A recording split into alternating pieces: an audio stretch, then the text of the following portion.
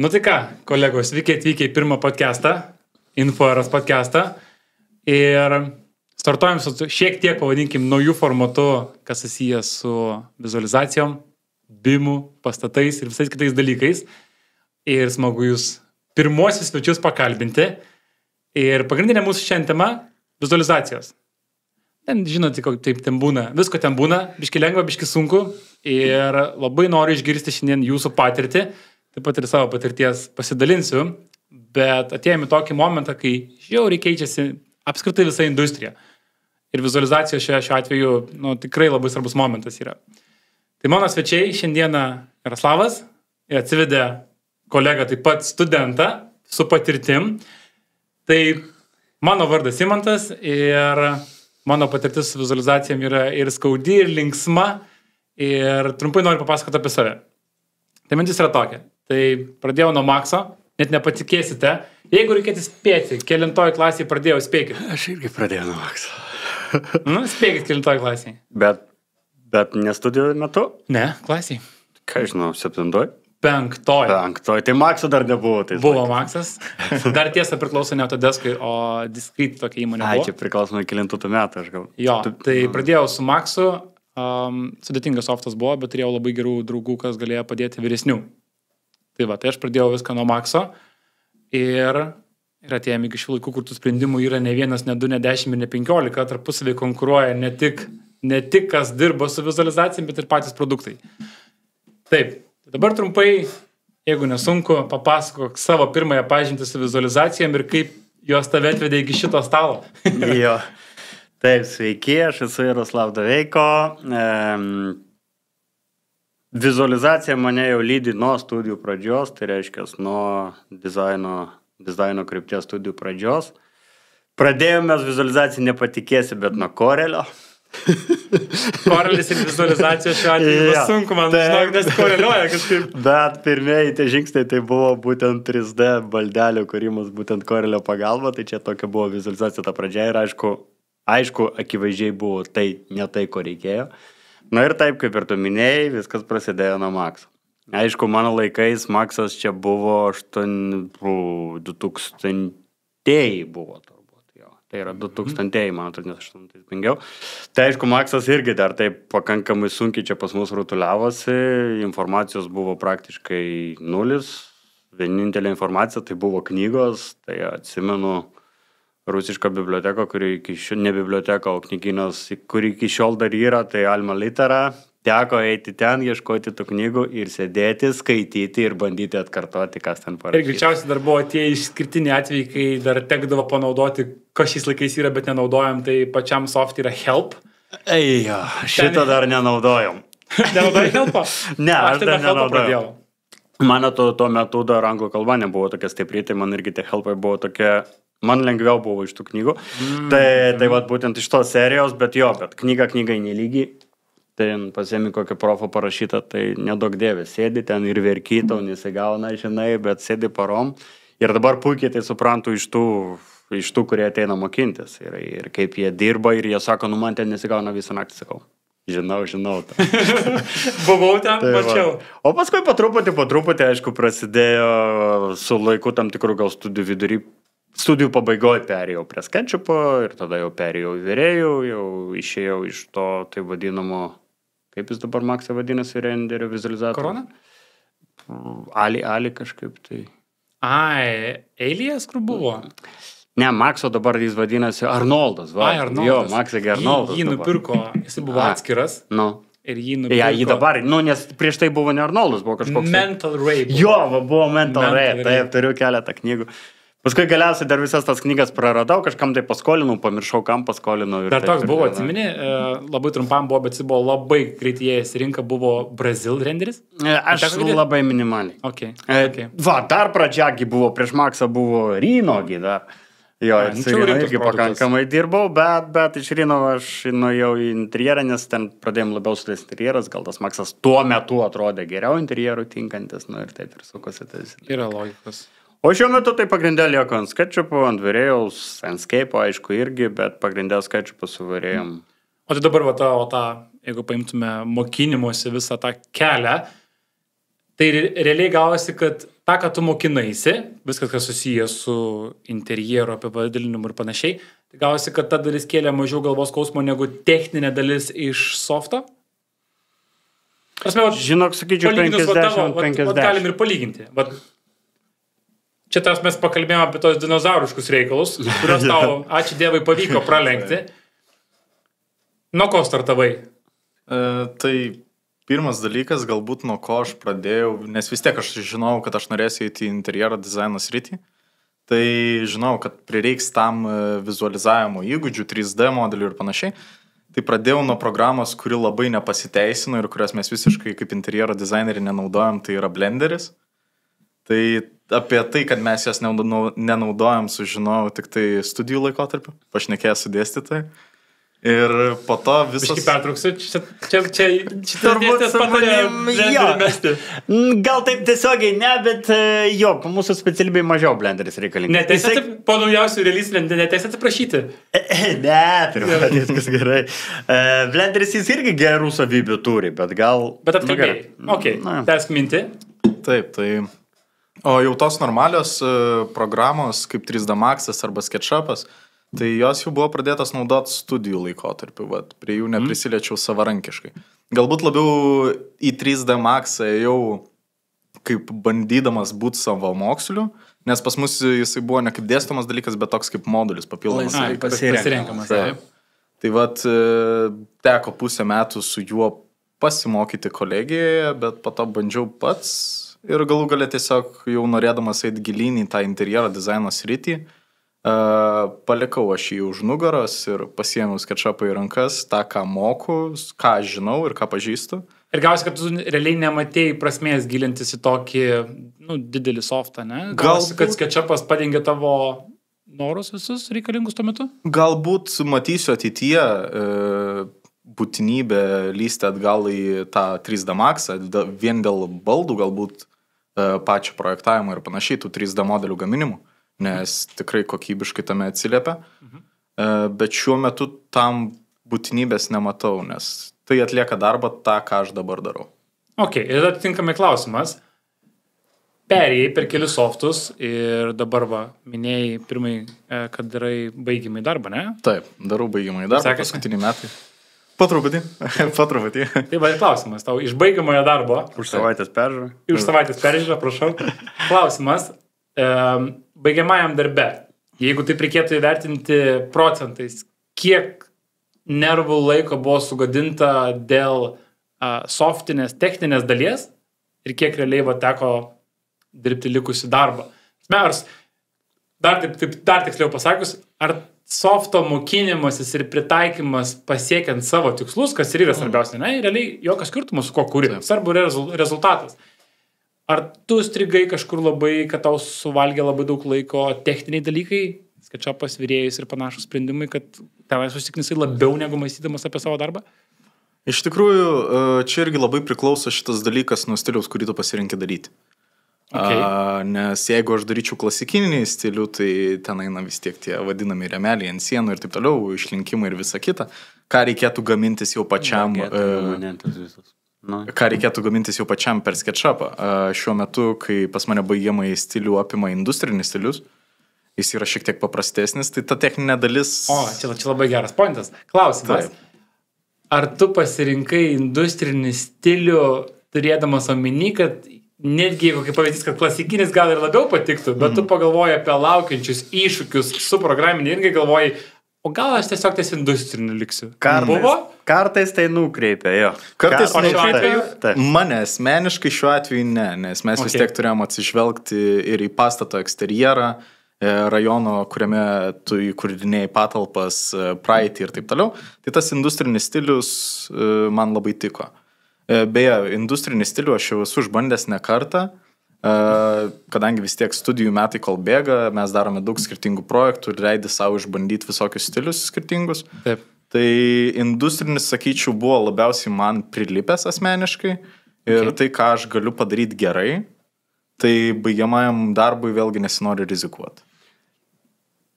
Dėl techninių dalių, dalies iššūkių, jie, Taip. jos dažniausiai iškyla pradžiai, kai vat, žmonės pradeda mokytis, nesvarbu ar studentai, ar vat, tiesiog žmonės, kurie ateina į kursus pasimokyti, mhm. tai va tada būna tie techniniai iššūkiai, visų pirma, aišku, yra kompiuteris, mhm. nu, vis tiek mūsų Lietuvos dar tendencijose rinkoje nu, yra daug žmonių su silpnais kompiuteriais, kurie nori dirbti, pavyzdžiui, vizualizavimą ir panašiai. Ir va, tada vat, būna tos didžiausios problemos. Kai jau žmogus dirba trečius metus, arba jau normaliai dirba su, su, su, su, su klientais, tai jau tų techninių problemų mažiau būna. Ok, tada klausimas. Um, kolegijai dėstai sketšopą ir vyrėjų. Ir, ir gaunasi, kad studentai, nu tam tikrą prasme, pavadinkim, jie priversti pasirinkti Taip. šitą sprendimą. Ar būna, kad gauni pasipriešinimą ir sako, ateina, pavyzdžiui, su kažkokiu backgroundu ir sako, o man labiau kiti produktai, pavyzdžiui, dabar populiarūs įvairūs real-time uh, enginai, kaip Unreal Engine'as, Twinmotion'as, Lumionas, just name it. Ir būna, kad jau ateina ir sako, aš ne, aš va su šituo noriu ir Ne, tai tikrai taip. Nu, yra tie tam taip vadinamos būtinos programos, kurios jau yra būtinos eina į programą ir yra tos laisvai pasirenkamos. Tai negalim pasakyti, kad uh, mokinam tik skaičių per vėrėjų, taip. E, nes plus prie to yra papildomai dar Maxas, plus tas pats yra Maxo renderis. Uh, Taip pat jie ten, aišku, su archikatu kažkiek tai vizualizuoja, taip ir panašiai. Tai ta pasirinkimo laisvė yra duota. Bet aišku, nu vis tiek, Kai, kai yra tam skirtos paskaitos, kur gausi daugiau informacijos, tai aišku, tas dalykas nulina. Jeigu ateina žmogus mokytis ir jau moka kitą programą, jam yra pilnai leidžiama dirbti su ją. Ta prasme, nėra tai, kad aš jo neįvertinsiu dėl to, kad jisai vizualizaciją padarė su kito programa. Įrankis, kad ir kiek yra svarbu, bet tai nėra privaloma naudoti būtent tą įrankį. Pavyzdžiui, ar studentai, kurie pasirenka baigiamai darbą daryti su visiškai kita programinė įranga, jie pilnai leidžiama jiems. Pilnai ne? leidžiama. Pilnai, taip, okay. pilnai leidžiama, jie gali pilnai daryti su bet ko. Ta prasme, svarbu, kad būtų rezultatas. Ir netgi valiotojai yra sveikintina, nes, nu, ta prasme, žinai, įvairovė atsiranda. Nu, taip. O pačiam nekilo pagundų, pavyzdžiui, kai susidūrėjai, nu, tu dirbi su skečia ir su vyriai, darai savo taip. darbą, ne, tavo pažintis tenais, plus va, išmokino puikiai, puikiai mokini. Mm. Gerai, puikiai, puikiai, viskas gerai, viskas gerai. gerai. ir klausimas, nebuvo pagundų pamačius, kaip greitai gali gauti rezultatus Lumionė, Twinmotion ir panašiai, kad galvoji, o gal man tiesiog reikėtų biški pamigruoti, leidžia galimybę šiuo metu? Lumionas buvo paliestas, e, aplinkos dizainą besimokinant irgi mhm. kolegijoje, tai dirbome tenai su Lumionu. Iš tikrųjų pastebėjau, kaip, kaip pagreitėja tas darbas galbūt toje programoje, bet um, nesigilinau galbūt į ją iki tiek, kad jinai man galėtų pakeisti SketchUpą. Nes e, čia irgi yra tas dalykas, e, kai tu žinai tuos visus shortcutus pačiai Taip. programai ir panašiai, ant kiek pagreitėja tau darbas ir mm. tas, kad aš pasikeičiau programomis, man užimtų daugiau laiko researchus darant apie Lumioną, negu toliau dirbant su SketchUp. Ok, ir tada atitinkamai, kadangi nu, studijose jūs dirbat, tai galim sakyti, kolektyviai, gal to kolektyvinio darbo nėra tiek super daug, galbūt, bet klausimas, kiek įtakos jūs darote vieni kitiems? Programų pasirinkimuose, stiliaus pasirinkimuose. Kompiuterio pasirinkimuose. Kompiuterio, jo, ar, ar reikia tiek banga, kad čia būtinai makus reikia visiems ja, turėti. Ja, ja, čia su to kariauju. Tai reiškia, tas reikalas labai yra, ne? Nu, makas tai taip, makas yra, nu, savotiškas toks konkurentas svetimkūnis labai skirtingai. Ok, tada atitinkamai labai iš to klausimas, jeigu tokia įtaka yra tarp studentų ir jie tą trendą kažkokį mėgina vis naujai nešti, Makai M3, M2 ir panašiai tikrai performina gerai. Pats ką naudoji? MSA. O, matai. ne, aš, aš, aš makam nepasiduodu. Ir yra dėl ko galbūt, nu, yra, nes pas mane MSA jūs, jisai daug išveža ir jis yra pakankamai galingas. Tai yra tekę, kai mes visi studentai labai mėgstam viską pasilikti paskutinį minutį ir jau tos paskutinės trys naktys jos ir taip gaunasi bemiegės ir tada tau kursiokas su maku rašo, prašau, ai. Tai vat, galbūt ta tokia antireklama irgi gaunasi mums patiems kaip Windows naudotojams ir studentams tuo pačiu. Aha. Tai tas makų pasirinkimas man niekada nebuvo šovęs į galvą, kad aš galėčiau iškeisti savo kompiuterį į oboliuką. Na nu ir tai ir kai mes mokinam, nu, tai puikiai matom irgi, kad makė, nu, yra tų, tų bėdų tokių, kur yra sudėtingai su tų pačių medžiagų parinkimų. Tai va, ką, ką galiu pasakyti, va, iš kursų, tai... kas dabar va, šiek tiek kitaip nu. vyksta, kai būna su makais. dabar kai yra tie nauji makai ir kai vedi Na. vizualizavimo kursus, tai naujieji makai tie M3, Max ir Mm. M2 ir panašiai, tai jie neretai geriau performina negu Windowsiniai. Čia pasikeis neužilgo, Taip. bet pastebėjimas, kad vizualizacijų rinkoje, kai makas buvo ta dalis, kur geriau nenaudoti, Tai šiandien, pavyzdžiui, šiandien aš tokio patyrimo negalėčiau duoti. Išskyrus, jeigu tu esi užkėtėjęs maksininkas, o tokių pas mus tikrai netrūksta. Bet jeigu atmetus maksą ir fokusas yra SketchUpas, Twinmotionas ir visi kiti dalykai, aš tai ne, negalėčiau pasakyti, kad nenaudokit mako. Na, aš irgi ne. Ypatingai, kaip pavyzdys, tarkim, studentam, ne, paimkim studentą ir vizualizacijų industrijai. Tai dirbant su makiniu M3, kaip pavyzdys, tai studentas gali atsinešti kompą ir jisai gali su juo dirbti visą dieną net nei kart nekraus. Tikrai taip. Arba dėl ramų jo. Taip. Ir tokių Bet kai visokių studentas pasimeta mygtukuose mako ir negali ten, žinai, tu visus Čia, jau biškį čia jau kita problema, jo. Ok. Ok, važiuojam toliau. Tada kitas labai man svarbus aspektas dėl vizualizacijų. Uh, mano pastebėjimu, kaip kinta kokybės ir greičio suvokimas ir norai, aišku, dažnai prasilenkia, kaip, kaip būna pasiekėm su kolegom, biudžetas būna čia, o norai tai kaip Hollywoode. Tai prasme, ne, nu, nes, nesiderina. Ir visi, visi, kas mokinasi, tiek aišku, kas daro vizualizacijas, dažniausiai pagrindinis tikslas būna, kad jinai būtų ultra realistinė. Kas neretu atveju yra neįvertinama žinių spraga, laiko kaštai ir svarbiausias dalykas, ar klientas yra pasiruošęs už tai sumokėti. Tai man klausimas jum. Šiuo metu, kai dirbote su klientais, mokymų metu, dirbant su komerciniais klientais arba darant studijų darbus, kur dabar didesnis tas uh, kirtis eina ant kokybės, ar ta kokybė jau tokia leidžiam vidutinę turėti ir daugiau mažiau visi esam laimingi? Ar visi norim ir darom, kad plyš trūkš reikia, kad padaryti, kad būtų kokybė maksimali? Kur kirti dedat? Mat, pavyzdžiui, asmeniškai, darai darbą industrinio stiliaus, ne? Medžiagiškumas industriniam stiliui yra kosmiškai svarbus. Kaip iš, e, parodyti tvarkingai tą šlapio betono efektą, tos aprūdyjimus ir kas tai bebūtų, ne? Pats kiek skiri laiko tai kokybei ir kiek yra labiau tiesiog estetiškai tvarkingai tau pateikti. Iš tikrųjų labai priklauso nuo to, kiek yra laiko likę pačiam projektui ir kiek to laiko yra duota pačiam projektui. Nes vėlgi patį projektą sudaro. Aš tik tinai. Ti, nu, Reiškia, problemos su planavimu prasideda. Prasideda. Nes vėlgi projektas susideda iš techninės, iš techninės dalies ir vizualizavimo dalies. Tai čia irgi labai priklauso. Aš asmeniškai vat, turėjau problemą su paskutiniais savo projektais, kad aš labai lendu į detalės ir tas man daug laiko kainuodavo techniniuose brėžiniuose, kas man mažiau laiko palikdavo vizualizavimui. Okay. Tai tas e, vizualizavimas, e, aš asmeniškai norėčiau galbūt e, to, jeigu pateikiant kolegijai, nes Taip. tu iš dalies turi parduoti vis tiek savo darbą, Taip. pači, patiems dėstytojams, tai jisai turėtų atrodyti estetiškai. Aš manau, kad tai yra svarbiausias. Bendras vaizdas, kad jisai turi atrodyti gerai. O tada tas jau lindimas į detalės, čia jau galbūt e, pačio jau, kai tu patikinėjai darbą klientui, nes jam medžiagos yra irgi labai svarbu ant tam tikros sienos, kokie tai yra tapetai ir, ir panašiai, koks jų raštas. Okay. Tai aš manau, jeigu tai yra klientas, e, reikėtų gilintis daug giliau į patį 3D modeliavimą. Jeigu tai yra kolegija ir tu nori parduoti savo darbą per, pristatant jį per penkias minutės, tau reikalingas yra bendras estetinis vaizdas. Nu taip, ir dėl tos kokybės, nu tai čia jo, čia yra labai toks ilgai diskutuotinas klausimas, nes nu ir vėl žiūrint, ką tu ruoši, arba kaip tu dirbi ir taip toliau. Nu, mano tikslas vis tiek, kai aš pagrindę didžiąją dalį, tarkim, mokinu, tai vis tiek mano tikslas, kad jisai kuo greičiau išmoktų daryti tą normalią vizualizaciją, o jau tobulinimo etapai, tai jau pasilieka labiau gal žmogui, kuris jau nori save labiau tobulinti ir panašiai. Jeigu žiūrėti iš kliento pusės, Iš mano patirties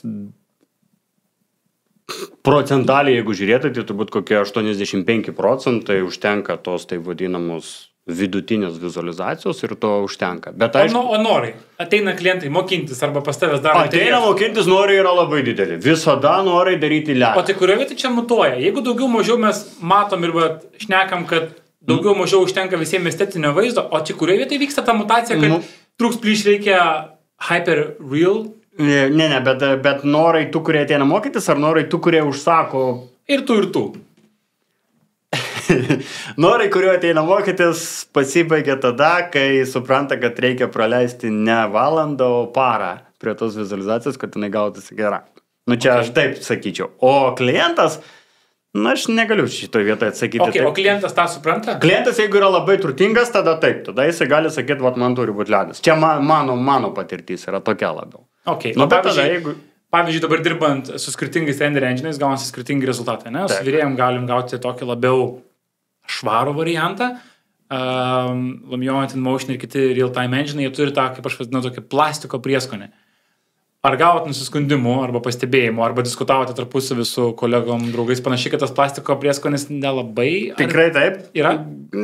Yra ta problema, bet čia ir vėl. Dizaineriai mato vienaip, klientai mato kitaip. Klientui, paprastam vidutiniam klientui, Tai nekliūna niekaip. tikrai jam nekliūna ir jisai net... Bet čia, tada, čia toks labai įdomus momentas.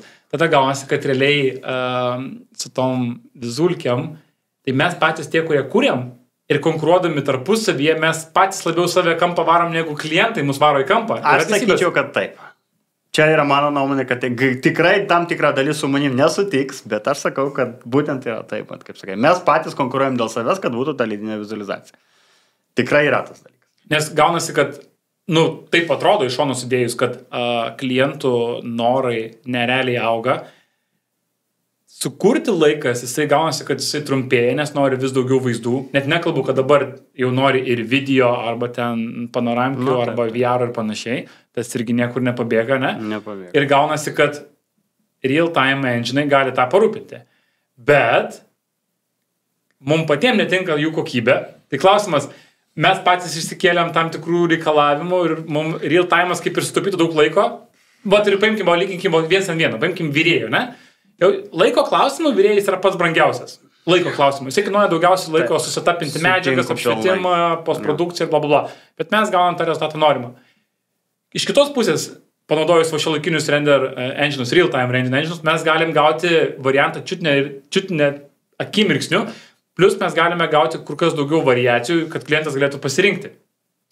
Dabar čia toks labai įdomus momentas gaunasi. Tai klausimas, ko labiau klientas nori ir reikia, ar geriau gauti šiek tiek prastesnės vizualizacijos su plastiko prieskoniu, bet gauti krūvą gražių variantų pasirinkimo, kur medžiagos toli gražu netitinka tobulai, Ar vis dėlto, pavyzdžiui, va, paimkime dabar kitoj pusėje sėdi vyrėjus su kosmo biblioteka, kur medžiagos tampa kiekvieną dieną geresnės, gražesnės, jo. Bet render time reikia susimokėti. Nu, taip. Choose one vadinasi. Ką renkatės? Nu, Aš aš, tai renkuosi tą, tą žemesnį. Nu, kaip. aš asmeniškai turiu patirties dirbant ir individualiai, ir įmonėse. Tai Taip. aš pastebėjau galbūt labiau įmonėse, bet čia irgi nuo klientų galbūt labai priklauso, kad e, yra tas dalykas, jog jie pasirenka daryti, vat, kaip ir jūs sakot, su tuo plastiko prieskoniu, Taip. didesnę variaciją pasirinkimų interjero ir panašiai. Jie pateikia tai klientui, tada klientas išsirinkęs galutinį variantą yra samdomas arba jau yra pasamdytas vizualizatorius ir tada jis išdirba tą galutinį variantą. Tai čia aš manau priklauso galbūt nuo, nuo interjero dizainerio politikos, kaip jisai dirba su klientais. Čia irgi yra tiesos. Nu, bet čia jau jo, čia, čia, čia jau, kai jau dirbama su tais dar rimtais klientais, rimtais, turbūt jo, ir tada jau jie, jie tada dar dažniausiai užsako pas tą rimtą vizualizatorių, kuris jau ten tinkamas su ok, ir tada, dabar iš karto ir perinu prie to rimto vizualizatoriaus, ne? Ir čia, čia labai įdomi vieta yra, kad gaunasi, kad iš to interjero dizainerio arba iš architekto netgi šiuo atveju galim priskirti, e, gaunasi, kad tikimasi, kad jis bus kaip minimum IT žmogus.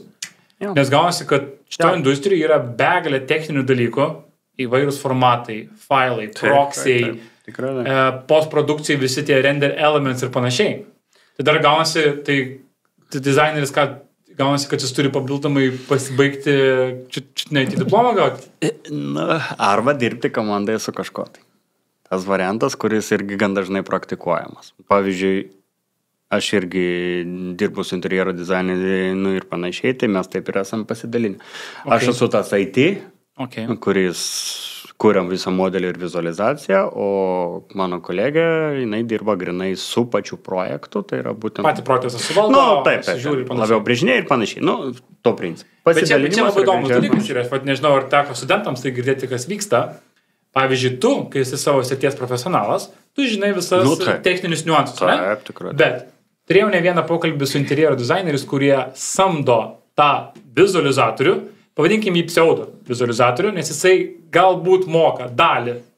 Ir gaunasi, kad prasideda toks labai įdomus žaidimas. Dizaineris paprašo kažką padaryti, jis tas Jo, jo. kabutėse vizualizatorius pradeda pasakoti, kad tai yra neįmanoma arba kainuoja labai daug. Ir nedaug dėvė ateis pakeitimai, o pakeitimai visada jo, ateina. ateina vis. ir jisai sako, pavyzdžiui, e, padarė kažką su šviesa ir sako, čia man biški turėtų būti šviesesnės dalis, čia turėtų būti tamsesnė, čia ir panašiai elementai. Ir gaunasi, sako, kai man kainuos tai papildomą parą viską pakeisti ir, ir papildomai, aišku, pinigai. Nu. Ir, dar, ir čia prasideda labai įdomus dalykas. Šitam žmogui trūksta žinių. Tiesiog padaryti. Bet jis ir įdomi dalykas, dar netgi įdomesnis dalykas yra, kad jisai net nežino to funkcionalumo ir jisai galvoja, kad jau žino viską. Ir gaunasi, kad šita rinka, vizualizacijų kūrimo rinka, jinai yra šiek tiek gaunasi tokia, kaip pasakyti, iškreipta. Nes visi įsivaizduoja, kad vizulkės pakeitimas ir, pavyzdžiui, vedu mokymus ir sako, kas būtų, jeigu reikėtų pakeisti šiek tiek medžiagiškumą, atspalvius. Nes sako, man pasako, kad čia reikės renderinti papildomai, tengi sako, parą, kai nieko. Mm, mm. Aš sakau, ne, čia yra postprodukcijai vienas mm. klikas ir gali pasikeisti. Tai dabar klausimas, vėl grįžtų prie, prie render engine. Jie iš esmės visi sprendžia tą pačią problemą, ne? Galima gauti pakankamai gerus variantus, naudojant vyriai, naudojant e, ten twin motionus, luminous ir panašiai. Tai čia klausimas, didesnis netgi klausimas yra, ar čia problema yra išsirinkti softą ir panaudoti tą teisingą softą, ar čia vis dėlto groja žiauri daug nežinojimo ir palieka tas techninius niuansus, kurie yra nerealiai svarbus, jos palieka, aš nežinau, nesprendžia. Čia ir vėl žiūrint, kaip pasukti atsakymą, čia žinai, galima ir taip, ir taip atsakyti. Taip kaip atrodo. Pačiam kaip atrodo. Ne visiems lemta būti vizualizatoriais, gal galima ir taip pasakyti netgi. Nu, Bet klausimas, ar tai yra, vien, ar tai yra tiek nerealiai svarbus komponentas dizaineriui ir architektui? Nu, jam nelemta būti vizualizatoriu, kaip paminėjai, ne? Bet jis interjero dizaineris gali būti geras. Taip, Tik jam reikia gerą komandą turėti. taip, gaunasi, kad taip. Nes, nu, jo, nes dabar jau e, klientų, kurie nenori vizulkės, jau praktiškai nėra. Nu, jų dar yra, bet vis mažiau ir mažiau. Vat irgi aš kiek ir e, girdžiu iš tų vat, vyresnių dizainerių, kurie dirbo, tarkim, be vizualizacijų ir ten praktiškai išsisukdavo, bet, nu, sako, viskas jau neįmanoma. Tai ta prasme, ir jie arba priversti patys mokintis, arba pas kažką tai nuomoti. Ta prasme. O pas patį žinios kaip atsiranda? Dažnai updateini žinias, kas naujo išeina, pavyzdžiui, vat, ne? Taip. Išeina kiekvienais metais vis nauji releasai. Kiek tau įdomu tie nauji releasai, ar tu tiesiog tiesi savo darbus taip, kaip yra su softu ir nesigilini, kom tas naujas releasas tau gali pagelbėti? Daug kas dirba ir nesigilina. Tikrai taip. tu Aš sakyčiau, aš asmeniškai galbūt čia vienas iš tų, kur tol, toliau dirbu ir nesigilinu. Bet čia yra daug tokių. Taip, žinok. čia, taip. nu, Bet e, galbūt čia irgi iš tos perspektyvos, kad e, šiuo metu nematau tame reikalo. Bet Aš kodėl? irgi, irgi. O dėl ko nematomas reikalas? Jeigu, jeigu pavyzdžiui... Nes taip jeigu- jis visas funkcijas atliko su tais įrankiais, kurias turi ir jam nieko naujo nereikia, žinai. Bet tada klausimas. Bet jeigu Jo. šiandien naujas releasas ir tu žinai, kad su nauju releasu gali stupyti bent 30 procentų savo Taip. darbo laiko, Mm, dėl ko tai, nesigilinu. kodėl tai nėra motivacija? Tai yra motivacija, bet pirmas dalykas, tu turi Laiko žinot, kad... e, Ir žinot, taip, Jo, ir kur ieškoti, ir taip toliau, o čia atsiranda okay, niuansai. Tai prasme gavosi klausimas. Uh, o kaip studentus pasiekia informacija apie, apie naujus releasus, apie ką gali softai? Palauk. Aš čia matau, ne, nes ne. Um, pas jūs, va, bendruomeniai, studentų. Taip. Nu, kažkas jas atneša žinias, ar jūs patys googlinat, ar jūs gaunat e, atsitiktinius naujienlaiškius, kažkas pakliuvo, vyksta, pavyzdžiui, apie vyrėjų vyksta kiekvieną metą renginiai, va, mes su Jaroslavu juos vedė ne kartą, ne du ir ne tris, su sketchupu tas pats, Lumion, tas pats, nu, mes gausi, kad šiaip info bendroji sumoje Lietuvoje yra sukūriama. Klausimas, kiek ta info apie pažangiausius vizualizavimo sprendimus pasiekia jūs kaip visus būsimus ir esamus specialistus?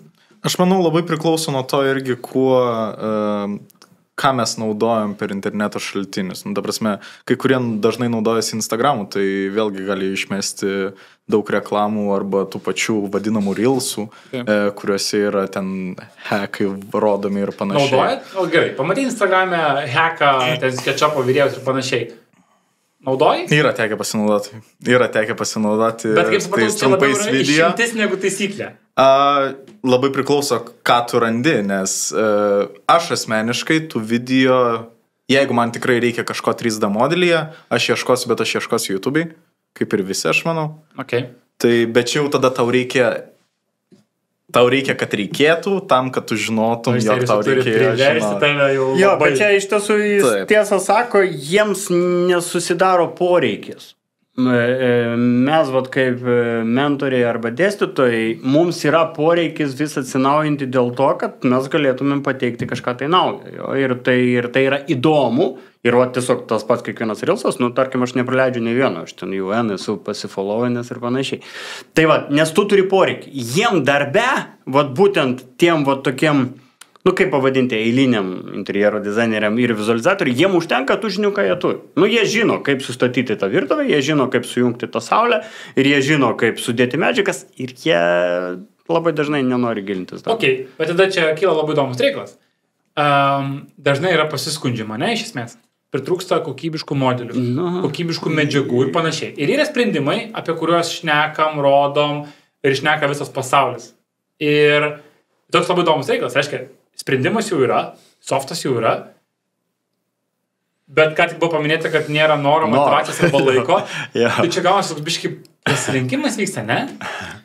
Na ir vėl. Kaip, kaip pavyzdys, ne? Tarkim, yra e, Adobas, čia vienu metu susipirko labai daug e, 3D softų ir kas susijęs su tekstūravimu, Adobas turi, nu, galim sakyti, vienus pažangiausius sprendimus, ten visi ten substance ir, tik dėkim pavadinimų šalia. Ir yra tų realistinių medžiagų.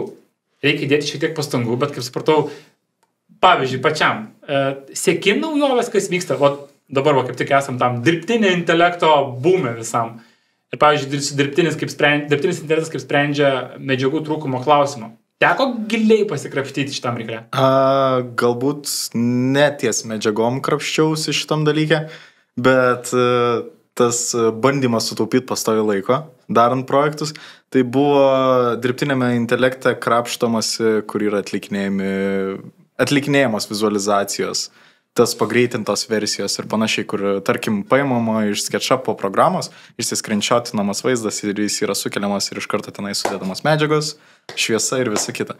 Taip pat yra ir pluginas, kiek žinau, SketchUp'e aš jį pats esu įsirašęs, e, kas kartais gali pagelbėti. Bet jeigu taip žiūrint į tuos visus e, jūs vadinamus softus, kur yra susiję ir su medžiagomis ir panašiai, tai ne, ne, man asmeniškai neteko, nes, e, kaip ir sakau, irgi labai priklauso nuo darbo specifikos ir tavo pasirinkto stiliaus, kurį tu darai, nes man užtenka, tarkim, chaoso, tą, ką aš turiu. Ką irgi pastebėjom dėl į, tai daug, vis daugiau naudoja visokiam inspiracijom. Tai vad būtent inspiraciniams dalykams. Vat nutarkim, nereikia ten kažkokio tai gipsinės vazelės ten su augalu, kuris ten bus būtent toks, o ne kitoks. Ir jie jau tai sugeneruoja su AI pagrindę. O, tai gaunasi, kad tam tikrą prasme pakeičia Pinterestą šio klausimu? Pagreitina. Taip. Pagreitina, nes Pinterest'e tu turi pražiūrėti ten kokių, nežinau, 50 paveiksliukų, kol rasi tokį, kokį tau reikia, o čia tu tiesiog parašai ir turi. Tai vat šitą naudoja, vat, kiek pastebiu būtent studentai, nežinau, kiek naudoja profesionalai savo veikloj profesiniai, bet vat studentai, vat inspiraciniam dalykam tai tikrai naudoja. Ok. Ir dabar tai šio klausimo atitinkamai, um, kas susijęs su vizualizacijom, mes savo real time'inės galim gauti pakankamai gerą vaizdą. Taip. ir dirbtinis gali jį nu, patobulinti, ne, kažkaip pagerinti ir panašiai. Tai dabar klausimas, tai šiuo atveju dirbtinis intelektas, um, jisai tampa kaip galimybė ar kaip grėsmė šitai industrijai. Pavyzdžiui, nu, nes gaunasi, kad dalį kūrybiškumo jis jau atima. Nu, jeigu jis gali, pavyzdžiui, inspiruoti ir sukurti va, tą paminėtą gipsinę vazą, kurią galiu įdėti į bet, kurią, į bet kurį softą, netgi dabar yra, nežinau, girdėjot, yra, um, kad iš karto sukuria 3D modelį Mm. gali aprašyti, bet lygiai taip pat, kad gipsinė vaza su to ir su to, mm. ir jis iš karto bus ready ten SketchUpui, Maxui, Mai, kam nori. Ir tik klausimas, čia yra sekantis žingsnis, kuris žiauriai supaprastins ir visi dirbsime šiuo atveju su vizualizacijom geriau ir gausim realistiškesnius vaizdus greitai, ar tiesiog čia nužudys e, kūrybiškumą ir mes prigeneruosim pilną modelių vaizdų ir parduosim kaip savo? Dirbant su klientais, pavyzdžiui. Vis tiek dizaineris turės atfiltruoti ir surinkti tai, kas yra tinkama klientui. Tai žinai, kad prigeneruosim daug tai, kas iš to. Tai ta prasme, dizaineris vis tiek turės darbą, tik jisai kit, kitokį turės. Tai aš skaitau kaip galimybę. O nėra grėsmė, kad e, dirbtinis intelektas geriau suderins objektus? yra. Yra. Bet čia aš manau irgi priklauso nuo to, nes dirbtinis intelektas yra labai susijęs su tuo, kai, kaip tu jam sugebi užduoti uždavinį. Kaip tu jį su, sugeneruoji, ta prasme, ką tu parašai tenais. Nuo to irgi priklauso tavo rezultatas. Faktas. Bet tada gaunasi, tai mūsų pagrindinis tikslas bus gerai išmokti rašyti promptus ir gauti vizulkės geras. Tai vat aš ir kalbu. Vis tiek Pagyvensim, pažiūrėsim. Bet šiaip įdomu dalis, gaunasi, kad eisim link to, kad mažiau kūrybiškumo iš vizualinės pusės, o svarbiausia parašyti žiauriai gerą promptą, kad gauti labai įdomų vaizdą arba ten konceptinį modelį. Vis tiek aš manau, jeigu mes dirbam su klientais, yra klientų tam tikri reikalavimai, kurie irgi turėtų atsispindėti 3D modeliuose. Arba promptuose. Arba promptuose, taip, bet tam, kad irgi tą promptą parašyti, mums reikia įsivaizduoti galvoje turimą vaizdą ir panašiai, jį, ir tada jį užduoti, kad jį būtų atliekamas tiesiog pats, manau, veiksmas renderinimo. Čia aš Tai matau- Naudojantis AI. Kita problema to, kad klientas pats nepradėtų kurti, žinai, tų savo vizualų ir paskui nešti dizaineriui, kad dizainerius, nežinau, ten subražytų. Tam tikrą prasme tai. taip ir Nu, va iš Pinteresto. Nu, Žmonės nu, taip, prisirenka taip. Pinterest ir sako, aš Taip, noriu taip, lygiai taip pat, taip. padaryk su kuo ten moky, bet Jo, padaryk man jo, tokį vaizdą, jo. ne? Tai Taip, taip. taip, taip, taip, labai dažnai. Tai čia jau netgi viena iš tokių, žinai, pirminių sutarčių sudarimų su klientu. Pateikite keletą pavyzdžių, kas jums patinka iš Pinteresto. Jo, nu, prasme, tai čia- Įprastinė darbai. Nu, tai, tai, tai, tai. tai čia, kad, nu, tik matai, kol kas dar visi ten žinai, kas nežino, kaip tos promptus rašyti, kur juos rašyti ir panašiai. Nu, ta procedūra kol kas yra dar pakankamai sudėtinga, nu, bet aišku, jinai Sąlyginai, turi palengvėti. Tai gaunasi, kad ką, jeigu taip pabiškiai einant link išvadų, tai šiuo metu realiai naudoja visi labai skirtingus softus. Trendas, kad visi einam prie real time atvaizdavimo, tai yra faktas, ypatingai nežinau, kiek sekat, pavyzdžiui, Unreal Engine e, pasiekimus, tai jis tą plastiko skonį baigia panaikinti. Man tik kažkaip kyla klausimas, okei, okay, jeigu mes visi dabar perinam prie tų real time engine visokių, Tai man iškyla iškart klausimas, koks vyrėjos likimas. Pavyzdžiui, šiuo metu, bet irgi kai diskutavom ir, ir Nu su kolegom, nu. ke, aš keliu klaustukus, pavyzdžiui, kaip standartiniai render engine turėtų mutuoti. Ar sme gautųsi, kad vyrėjus greičiausiai Nupirks Turėtų- real time, tai ir viskas. vien- vienas iš variantų, arba, arba turės padaryti, kaip tas produktas yra, Vantage. Arba jis Nu, turės suintegruoti Vantage. Jo, bet, arba, bet pokyčiai akivaizdus darosi. Tau dabar dirbant prie dabartinio projekto render time žiauriai ilgi yra. Taksime, kiek tenka laukti tavo eilinio a, paveiksliuko? Mm, Su dabartiniu projektu, jeigu taip dirbant, 10 minučių. Na, jo, nes kompas galingas, tai žinai, tos. 10 minučių apie kokią rezoliuciją kalbam plus minus? Nu, trys. High quality, viskas ant high pluso sustatyta ir maždaug 4 Nu, galingas pasiko. Ai, 4K netgi, ne? Nu. Ok, tai nėra taip jau blogai, ne? Taip. Tai čia jo, bet čia gan mažas procentas. Na, aišku, nu ir vėl dabar jau labai stengiamės, kad, žinai, tos kompus jau visi supirktų turminius. Kad eitų bet kurį realiai softą pasileisti, kas nu, taip patogu būtų. Tikrai, taip, tikrai. taip. Bet jeigu, vat, kai mes vedam tos kursus, nu tai ten, nu, nedaug dėja. Kai ateina ten su įtrečiuku, žinai, ir bando spausti vizualiai. 27 metų. Be, vis, be, be video kortos dar, žinai, tai, tai iš vis yra katastrofiniai dalykai kartais, nu bet nu ką. Tai softas, aš manau, yra labai labai svarbu. Ta prasme, kaip nebebūtų šitoje specialybėje, ne softas, o būtent įranga, ta prasme, yra labai svarbu. Na, nu, ir aišku, softas, bet, nu nu, jo, čia, nu irgi, taip. čia bet irgi labai toks dar, uh, jeigu mes perinam labiau nuo to tradicinio, galim taip pavadinti, to tradicinio renderio, perinant prie Nu, taip. real-time renderių, Nu, taip, gaunasi, kad ir techninių žinių ten mažiau reikia. Jo. Tai reiškia, vis tiek galim daryti išvadą, kad Mažiau dabartiniai, uh, dabartiniai sprendimai vis tiek daro taip, kad techninę dalį šiek tiek apkarpo žmonėm, kad nu lengviau būtų. Taip. Na, yra tokia, nu, Pigiau gaunasi, nu, nes, nu, žinai, nu, ir kompą nereikia pirkti, jau iš bėdos galima iš tokių, ką, ką turi ištraukti, nu, ir, ir žinių mažiau. žinoma, Taip, ir žinių mažiau. Tai Išmokti gal irgi, čia nėra gal taip jau blogai, nes prie tų techninių niuansų mes esam pripratę, bet, pavyzdžiui, ateinant va, naujiem, naujiem e, žmonėm į rinką, tai jie nori fokusuotis į savo darbą, o ne į techninius niuansus, kad ten ties vyriai matyrės, ties fresnel varnelę užmiršau nuimti ir viskas man blogai dabar. Taip, ir dabartinė karta ir nori, kad trim mygtukais padaryti vizualizaciją, žinai. Trim mygtukais. Vėriai, žino, jo, žinoti mygtuką tavo. Magic Virdulį reikia žinoti. ką ten darė. Nu, ką jie ten dar? Rezoliucija dar pagreidė, turbūt dažniausiai dar pakeičia. Ir light mixą nepamirštai įsimesti. Tai, bet O, labai gerai, dažnai pamyksta. Light mixą naudoja, dažnai. taip normaliai visi, tai tik tais tie, kurie pažengia, ne? Ne, naudoja tą prasme. Naudoja. Programų Čia gal tau reikėtų padėkoti, ne už tai. Nu jo, jo, jo, nes Lightmixas pakeitė vėrėjų, galima sakyti, irgi, nu, jeigu taip. Bet va, kaip, kad ir kiek įdomiai Light Mixas va, pakeitė vyrėją, kaip ir sakai, ir tapo tikrai kur kas viskas įdomiau ir greičiau ir panašiai, bet kiek ateina į mokymus, net į pažengus į mokymus ateina apie Mixą būna negirdėję, kas būna labai Nu, tai taip. įdomiai keista. Yra tokia situacija. Tai čia būna. Tu ką, pabiškiai susumuojam uh, savo, kaip sakant, pasišnekėjimą. Mano akimis buvo visai įdomu. įdomu. Tikrai taip. Pasidalinot, gal kažką biški nuslėpėt. Taip tikrai, rinka, pati rinka yra dinamiška ir mes tikrai susitiksim ar prie projekto, ar prie kitų įvairiausių dalykų, prie mokymų, a, prie įdomių renginių, apsikeisim žiniomis. Tai skatinu nenustot mokintis, domėtis, nes šiuo metu šitą rinką išgyvena baisingą perversmą. Gal, kaip, gal reikėtų sakyti, kad visas IT pasaulis išgyvena kažkokią tokį pokyčių, pokyčių bangą. Tai nenustokit tobulėti, mokintis. Labai ačiū, kad sutikote pasikalbėti ir pabūti, kaip sakant, pirmieji mano pašnekovai. Tikiuosi, ne paskutiniai. tai ką, ačiū labai. Ačiū labai. Ačiū. Ačiū.